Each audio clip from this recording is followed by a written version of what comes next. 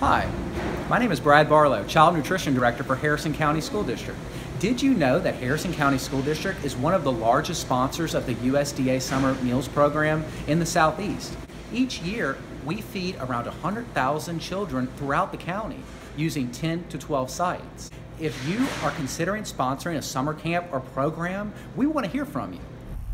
Just go to the Harrison County School District website and click on Department, then Child Nutrition. Scroll down until you see Free Summer Meals Program Interest Survey. You only have to answer seven simple questions like What is the name of your camp or organization? What are the starting and ending dates? And which proposed school site is the most feasible for your camp or program? Remember, all children 18 or younger are eligible for free summer meals, and there is no application required. The deadline to complete the survey online is April 8th. We look forward to hearing from you so that we can better serve our community with free summer meals this summer.